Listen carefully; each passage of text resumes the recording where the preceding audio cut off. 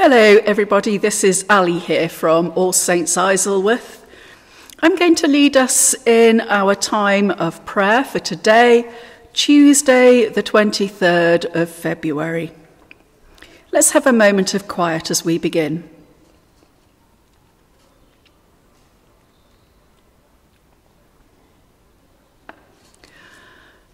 O God, make speed to save us.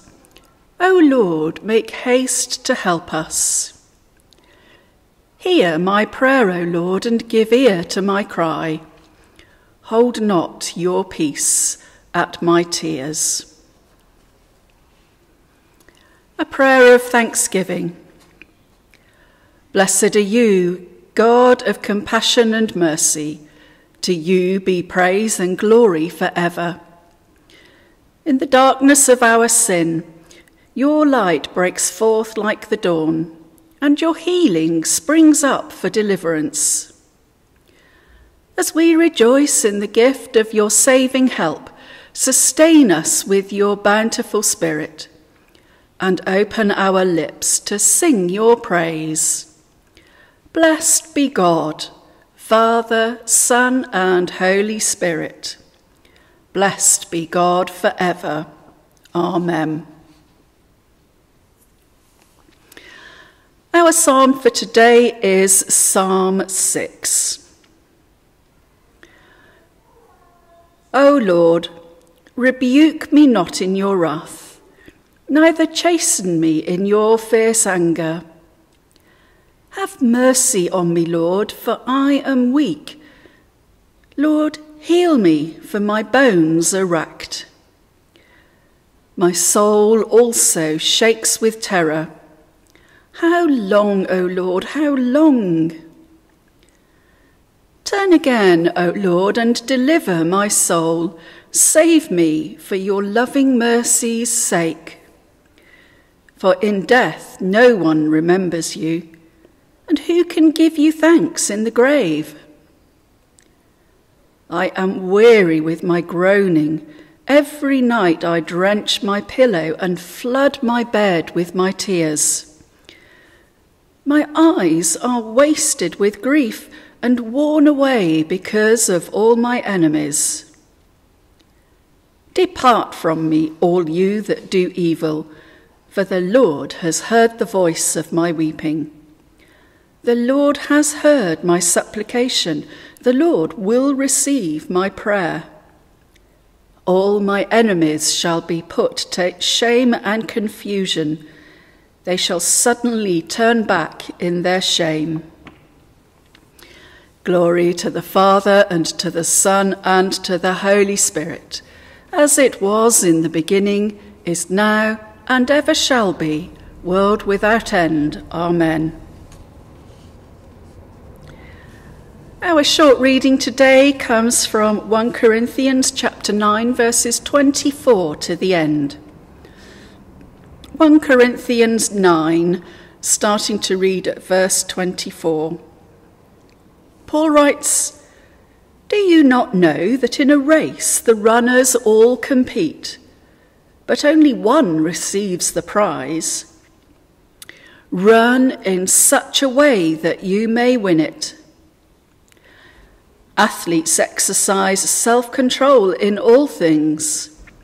They do it to receive a perishable garland, but we an imperishable one. So I do not run aimlessly, nor do I box as though beating the air, but I punish my body and enslave it, so that after proclaiming to others, I myself should not be disqualified. Blessed are the merciful, for they will receive mercy. In these few short verses, Paul is speaking about the self discipline that is required for running the Christian race. And Lent is a time in particular when we focus on that self discipline through fasting from something. Some people I know have given up chocolate and caffeine. Other people have given up alcohol. It may be that you have given something up too.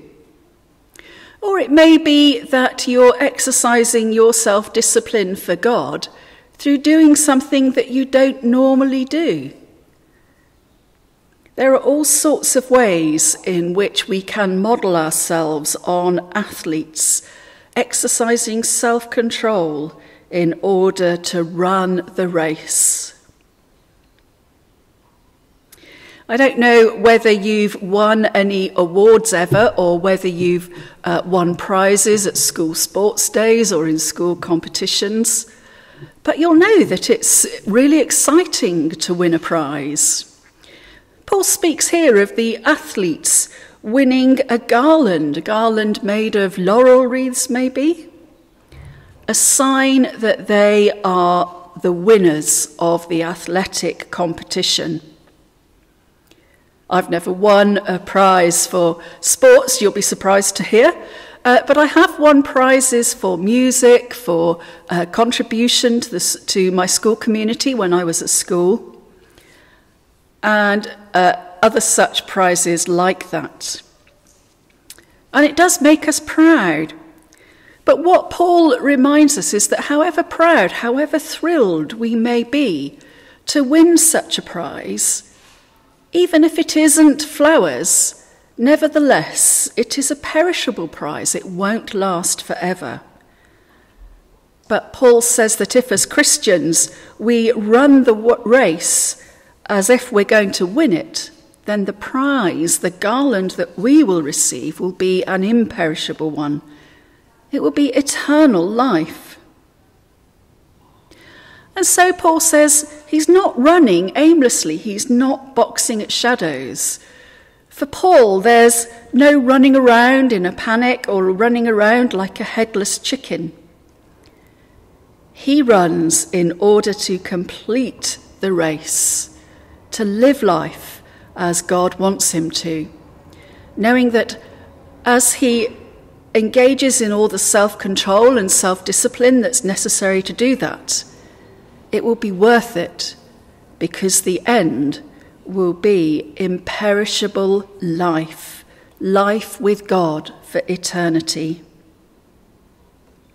And so, as we move through Lent, as we uh, continue to observe the things that we've given up, or as we continue to be self disciplined about the extra things that we are doing, then let's remember that uh, we're doing this for God and we're doing it because of the eternal life that he gives to us.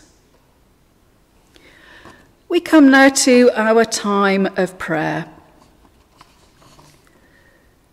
In penitence and faith, let us make our prayer to the Father and ask for his mercy and grace. For your holy people, that they may triumph over evil and grow in grace. We pray to you, O Lord. For the leaders of the nations, that you will guide them in the ways of mercy and truth. We pray to you, O Lord. For the needy, that they may not be forgotten, nor the hope of the poor be taken away we pray to you, O Lord. For the poor in spirit, that they may inherit the kingdom of heaven and see you face to face. We pray to you, O Lord. Let us commend the world for which Christ suffered to the mercy and protection of God.